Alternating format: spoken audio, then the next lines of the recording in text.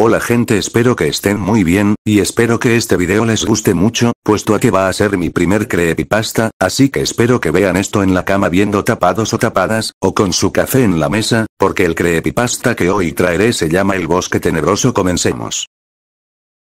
Yo era un niño que vivía en un jardín en medio de las plantas donde me crié, y mi hogar es mi querida y apretujable choza, hasta que un día he decidido ir de excursión solo al bosque, así que me puse mi campera amarilla y mis botas de nieve, en un día lluvioso, caminando hacia el tal bosque, había un letrero que decía bosque machete, y abajo del nombre decía peligro extremo, se han encontrado cadáveres estamos investigando a fondo que es no entre. Pero yo entré de todas formas ya que yo no creía en los fantasmas ni demonios, así que entré. El peor error de mi vida. Caminando por más de media hora empecé a escuchar gritos terribles, me asusté y empecé a correr como un enfermo, hasta que me resbalé por la húmeda de la tierra y me caí al suelo. Me quedé inconsciente y luego me desperté, y tirado en el suelo agitado, siento que una mano ultra gigante e hipotérmicamente helada, me toca el hombro y me dice,